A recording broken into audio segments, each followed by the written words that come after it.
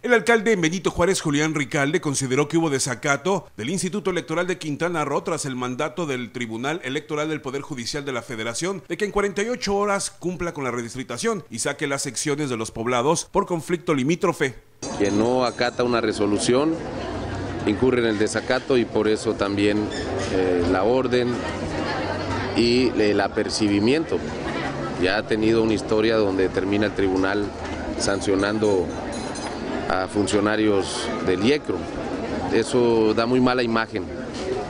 Luego es un acto de discriminación fundamentalmente a los benitojuarenses cuando no se redistrita. Es decir, la afectación de no redistritar es no reconocer una, una orden que han venido chicaneando desde el 2004 en perjuicio de los derechos políticos de los habitantes de Benito Juárez.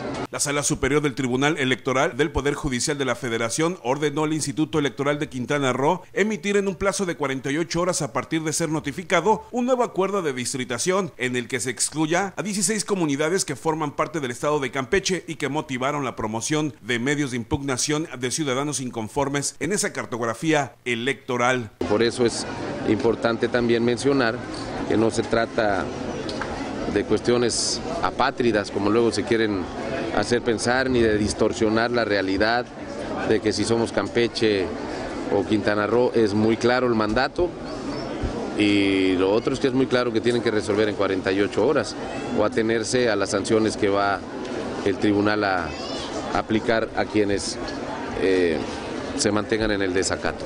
Con imágenes de Javier Valladares, Juan Carlos Mendoza, Notivisión.